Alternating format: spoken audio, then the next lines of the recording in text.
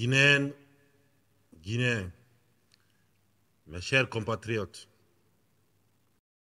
ce 2 octobre, nous célébrons ensemble un moment historique, le 66e anniversaire de l'indépendance de notre chère patrie. La République de Guinée, c'est une occasion de fierté nationale, un moment de réflexion profonde sur le chemin parcouru et sur les défis encore à relever pour garantir un avenir prospère et harmonieux à notre peuple. Cette date ravive en nous une fierté patriotique intense. En tant qu'État souverain, elle nous rappelle aussi notre engagement de bâtir une nation fraternelle, réconciliée et épanouie, reposant sur les valeurs cardinales de paix, d'unité et de cohésion nationale. En ces jours mémorables, je rends un vibrant hommage aux acteurs et compagnons de l'indépendance de notre pays, ainsi qu'à toutes les personnalités politiques qui ont été à l'avant-garde du combat pour la liberté, l'autodétermination et la dignité des peuples d'Afrique. Je tiens également à saluer les forces de défense et de sécurité pour les sacrifices qu'elles consentent chaque jour davantage pour la défense de notre intégrité territoriale et pour la valorisation de notre drapeau partout où elles sont appelées à servir pour préserver la paix dans le monde. Cette année, le thème de la commémoration de notre indépendance, s'inspirer du passé pour construire le futur ensemble. La Guinéenne rend hommage à la femme guinéenne. Elle est à l'honneur car depuis 1958, les femmes guinéennes sont en première ligne dans la conquête de notre souveraineté et dans la construction de notre État. Sans leur courage et leur détermination, la Guinée ne serait pas ce qu'elle est aujourd'hui. Pour notre pays, elles resteront toujours le phare et la référence. Leurs luttes passées inspireront les actions d'aujourd'hui et celles de demain.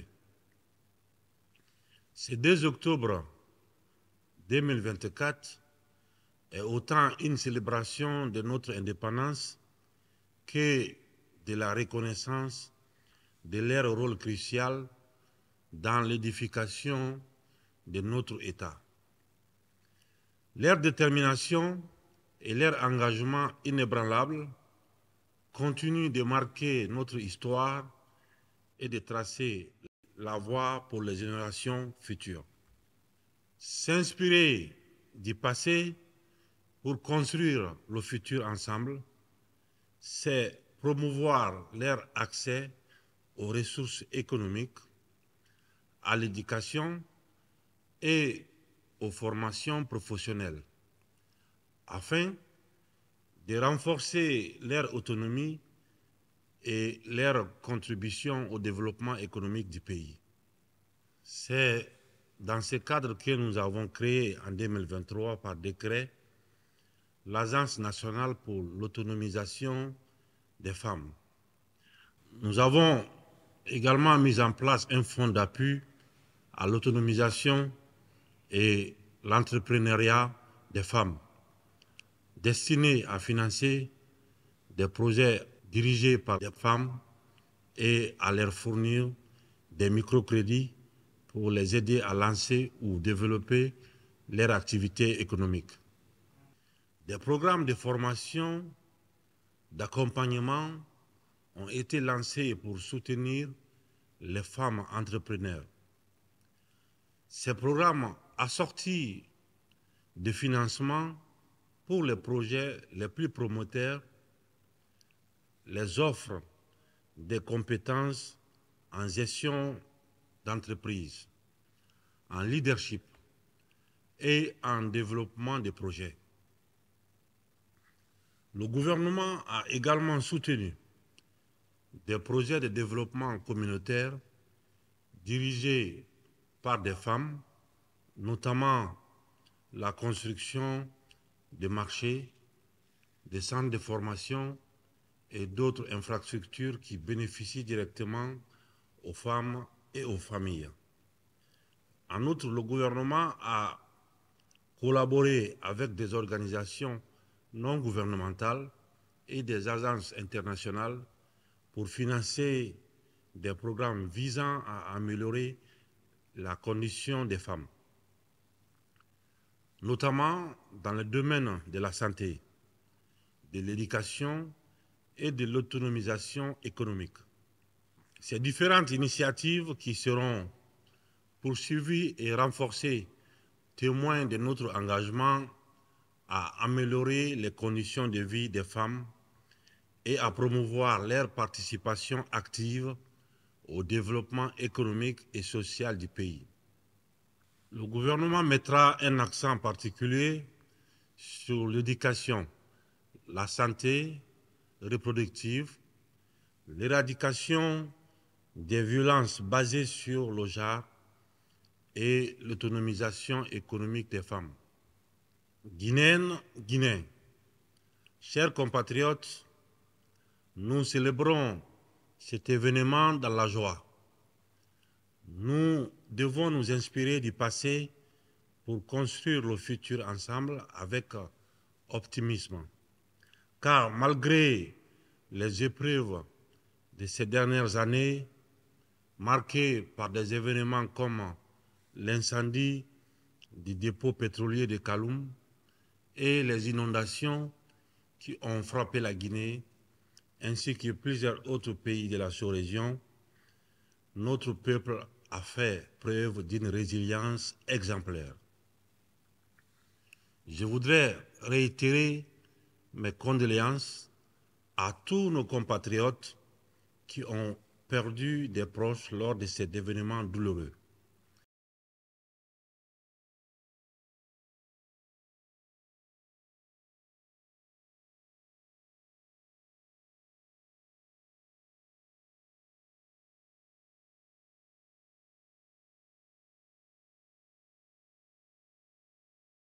S'inspirer du passé pour construire le futur ensemble, c'est se rappeler la solidarité, le patriotisme et la détermination qui ont animé nos héros et héroïnes de l'indépendance et permis la conquête de notre souveraineté nationale et internationale pour bâtir une nation réconciliée avec elle-même.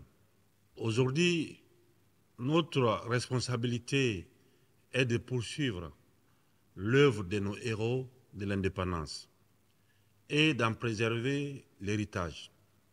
C'est en s'inspirant de leur détermination et de leur amour pour notre nation que nous devons bâtir une Guinée prospère, unie et résolument tournée vers l'avenir. La fête du 2 octobre est non seulement un moment de commémoration, mais aussi un rappel constant que notre liberté n'a pas de prix. Les jeunes générations doivent toujours se souvenir que leur responsabilité est de maintenir ces flambeaux allumés, avec la même ardeur que ceux qui nous ont précédés. S'inspirer du passé pour construire le futur ensemble, c'est également créer les conditions de vivre ensemble. Nous ne pourrons pas construire une Guinée forte sans la réconciliation de toutes ses filles et de tous ses fils. Nous devons tourner la page des divisions et des querelles intestines pour bâtir ensemble un avenir commun comme nous y sommes engagés depuis le 5 septembre 2021, nous avons organisé les assises nationales et des journées de concertation sur l'ensemble du territoire national. Nous avons eu pour ambition de redonner l'espoir à chaque Guinéen de construire des ponts entre les filles et fils du pays. Ces rencontres spécifiques avec les femmes, les jeunes, les personnes âgées, les agriculteurs, les opérateurs économiques, les acteurs politiques et l'ensemble des corps constitués de l'État ont permis d'apaiser et de faciliter les relations entre gouvernants et gouvernés et d'enrichir nos réflexions en vue d'actions collectives fructueuses pour le développement économique, social, politique et culturel dans la paix et la sérénité. La mise en œuvre entamée des recommandations issues de ces assises et des différentes concertations nationales viendra à terme apporter davantage de vitalité à nos institutions et raffermir notre gouvernance dans tous les domaines.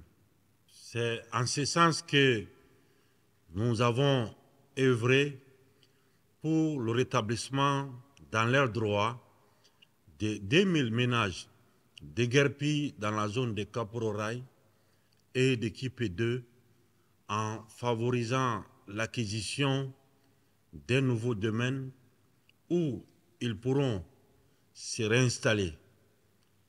C'était l'une des recommandations des conclusions des assises nationales, mais c'était aussi un engagement personnel d'essuyer les larmes de ses compatriotes qui aspiraient à cette réhabilitation depuis 1998.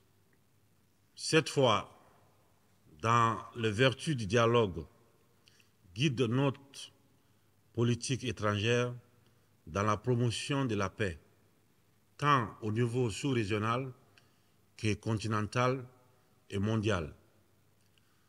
En ce sens, la Guinée réaffirme son attachement à l'intégration économique du continent comme voie privilégiée pour réduire la vulnérabilité de nos États et entend œuvrer à la consolidation des institutions africaines. Elle reprend toute sa place dans le concert des nations et continuera à jouer un rôle de premier plan dans les organisations internationales africaines. Guinéennes, Guinéens, chers compatriotes, notre histoire est riche en enseignements, en défis et en espoir dans notre marche vers la construction d'un développement équilibré. Les nombreuses perturbations liées aux difficultés économiques mondiales, liées entre autres aux variations climatiques, ont profondément marqué l'évolution socio-économique de notre pays, affectant les secteurs vitaux, les revenus de nos exportations, ainsi que nos capacités d'investissement. Malgré ce contexte difficile, des acquis importants ont été réalisés grâce au dynamisme du monde rural, du secteur privé et des services publics. Ces acquis se traduisent notamment par tous les travaux engagés et toute initiative prise depuis le 5 septembre 2021 pour maintenir les intérêts du pays au cœur du développement et garantir la redistribution équitable des ressources minières de la Guinée tout en favorisant les investissements étrangers. Les ressources minières de la Guinée doivent profiter à toutes les filles et à tous les fils du pays. Car la Guinée appartient à tous ses enfants. Et il y a de notre devoir d'assurer que chacun trouve sa place dans cette grande marche vers la stabilité et la prospérité. L'émergence du secteur minier, illustrée par le projet Simandou, constitue à cet effet un espoir réel pour une transformation positive de la structure économique de notre pays. Le développement des infrastructures pour ce projet a été une priorité stratégique. C'est le lieu de rendre hommage aux jeunes, aux femmes et aux anciens dont la détermination, le pragmatisme et la sagesse ont fortement contribué à cette performance. Simandou est le projet de l'espoir et de la prospérité qui va contribuer à améliorer considérablement le bien-être de la population. Le programme de développement socio-économique hautement stratégique bâti autour de ces projets, dénommé Simandou 2040, remplira un rôle moteur pour la prospérité future de la Guinée. Pour en tirer pleinement profit et réduire notre dépendance de l'exploitation minière, ce programme est conçu autour des axes suivants. L'agriculture, les industries alimentaires et le commerce, l'éducation et la culture, les infrastructures, le transport et les technologies, l'économie, les finances et les assurances, la santé et le bien-être. Mais dans un contexte international volatile, la bonne gestion de nos ressources publiques est un impératif pour le maintien des grands équilibres macroéconomiques et l'amélioration du climat des affaires. La qualité de notre gouvernance économique en vue de la refondation de notre État renforce davantage la confiance de nos partenaires au développement, auxquels j'exprime ma reconnaissance pour la constance et l'efficacité de leur soutien. La lutte contre la corruption dans laquelle nous nous engageons plus que jamais dans toutes les sphères de la vie économique, politique et sociale est essentielle pour accroître l'efficacité des dépenses publiques et améliorer les performances de notre système économique. C'est pourquoi, au niveau de la justice, nous avons pris des mesures fermes pour lutter contre la corruption. La justice doit être le socle sur lequel se fonde la confiance de notre peuple. Je réitère mon engagement inébranlable à défendre ces principes fondamentaux pour notre développement. Malgré toutes les tentatives de chantage politique, comme je l'ai toujours dit, dans la lutte contre la corruption, ma main ne tremblera jamais. L'application rigoureuse des recommandations formulées par les institutions et organes de contrôle économique renforcera l'efficacité de nos actions de développement. Guinéennes, Guinéens, chers compatriotes, depuis notre arrivée, nous avons œuvré pour un renforcement significatif des services sociaux de base, notamment dans les domaines de la santé, de l'éducation et de l'accès à l'eau potable. La construction d'établissements sanitaires et la rénovation des centres de santé à travers tout le pays illustrent notre volonté d'apporter des soins de qualité aux populations. Même dans les zones les plus reculées, nous avons également entrepris de moderniser nos hôpitaux et d'assurer un accès aux soins universels. Ces efforts se poursuivront pour accroître l'offre de soins.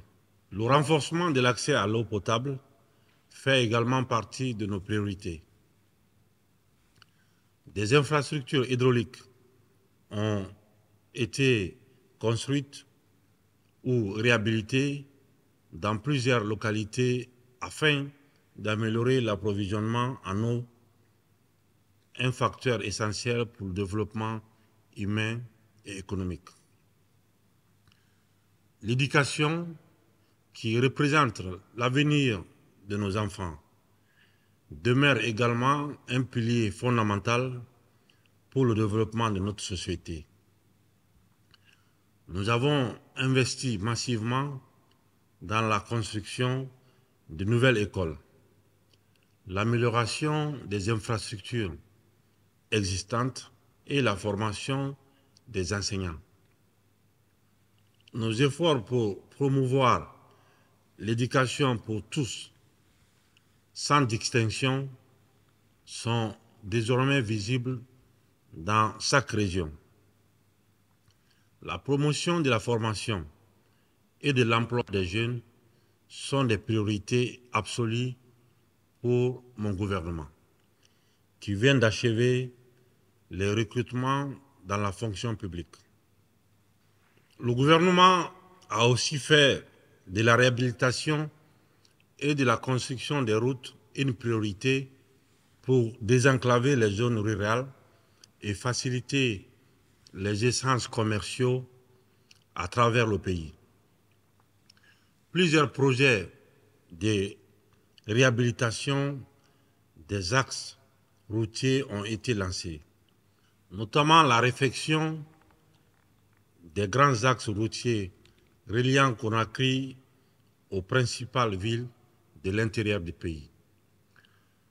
La construction de nouvelles routes et ponts pour améliorer l'accès aux zones minières et agricoles contribuant ainsi à la croissance économique locale et le lancement des programmes pour la maintenance et l'entretien des infrastructures existantes, limitant ainsi la dégradation rapide des routes. Nous continuerons à accentuer les efforts. Dans le domaine du logement, et de l'urbanisme. Des actions significatives ont été entreprises par le lancement des projets de construction de logements sociaux dans plusieurs grandes villes afin de répondre à la demande croissante de la population urbaine. Ces projets incluent le renforcement des infrastructures urbaines pour répondre à la croissance démographique et assurer des conditions de vie dignes pour les citoyens. La valorisation du capital humain, levier principal du développement, se concrétisera par la mise en œuvre d'actions prioritaires en faveur du système éducatif, telles que la construction d'infrastructures scolaires et universitaires, en particulier à travers le programme Simandou Academy, ainsi que le renforcement des stratégies visant à réduire les disparités, notamment celles liées au genre. Nous poursuivrons également l'amélioration de la fourniture d'électricité tout en mettant un accent particulier sur les infrastructures routières. La construction et l'aménagement des pistes rurales et d'ouvrages d'art dans toute la région. Autant d'impératifs pour consolider le processus de décentralisation. Chers compatriotes, nous devons entretenir notre sens élevé de patriotisme et cultiver davantage la fraternité, la solidarité et le vivre ensemble pour concrétiser notre ambition commune de bâtir une nouvelle Guinée. J'exprime ma profonde gratitude aux pays amis, aux partenaires techniques et financiers et à toutes les communautés étrangères dont le soutien constant renforce notre mouvement déterminé vers le développement. Aux Guinéens vivant en Guinée et ceux établis à l'étranger, je renouvelle ma reconnaissance pour l'immense contribution à la construction de notre patrie. Je vous exhorte à rester mobilisés et engagés pour la réussite de cette refondation. L'avenir de notre pays dépend de notre capacité à transformer les défis en opportunités.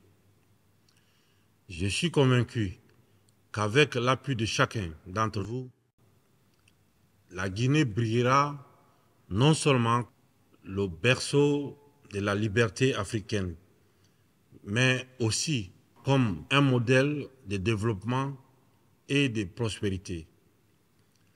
Je suis convaincu que si nous restons unis, si nous faisons preuve de patience, de tolérance et de respect mutuel, notre nation sortira renforcée de cette période.